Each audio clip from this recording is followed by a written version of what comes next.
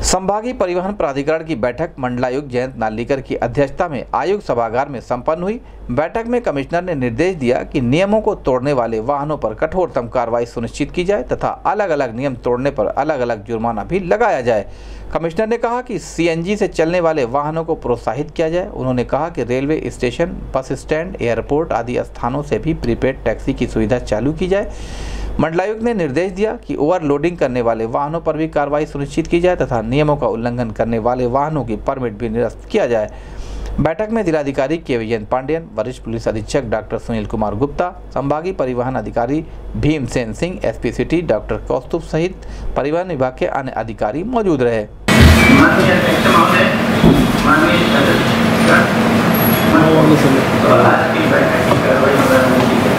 अनुसार बैठक दो महीने में एक बार ज़रूर हो रहा है। इसमें सर पहले नहीं है और थोड़े कोने लोग पैदा किया सेक्टर में जाएँगे। अपने क्षेत्र का और शहरी का और शहरी क्षेत्र का कला शहरी क्षेत्र के में ग्रामीण क्षेत्र के आगे कुछ चले जाते हैं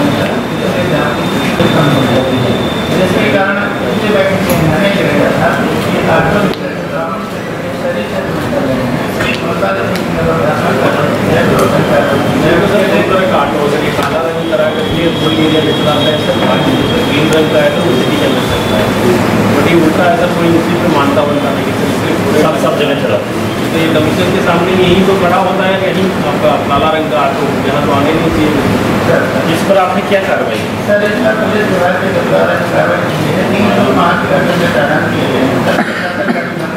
कहाँ पर है किस पेज पर है? यह सबसे गंभीर पर है और इसके परिणाम स्वरूप सर तो लाइसेंस कैंसिल करना होगा फाइन में क्या होता है? परमिट कैंसिल कर नहीं तो कैसे होगा सर है। सामान एक में भरा के चले जाते हैं सर। एक्चुअली सर इसी वजह रूरल वाले दिन अंदर आ जाते हैं सर। अब उसका एक्चुअली सर क्लैरिफिकेशन इसलिए क्लैरिफिकेशन होता है सर हम लोग इसलिए मिल नहीं पाते हैं। शहर के अंदर इसलिए आतों का संकट हो जाता है। ये जो आपने चालान किया है कितने रुपए का चालान है? ये सारा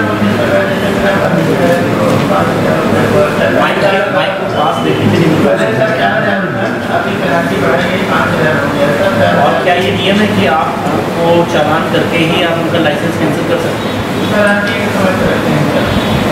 मैं ये कह रहा हूँ क्या यदि वो अपने क्षेत्र के बाहर घूम रहे हैं तो ये तो लाइसेंस की कंडीशन का उल्लंघन है। तो आप लाइसेंस सीधा कैंसिल क्यों नहीं करते?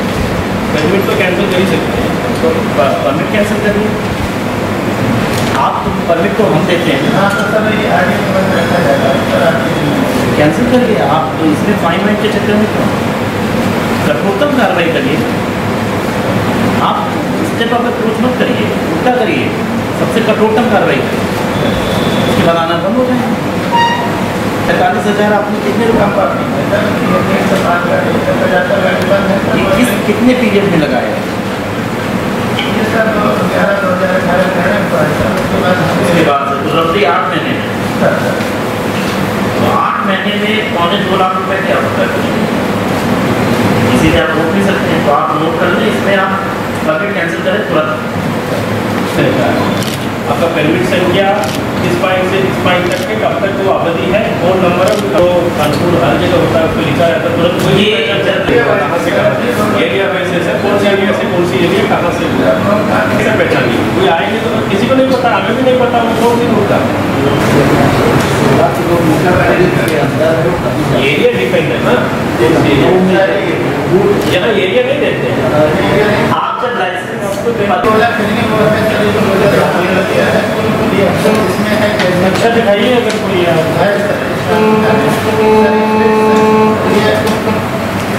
ऑटो रिक्शा का लगा हुआ सर तो इसमें जो है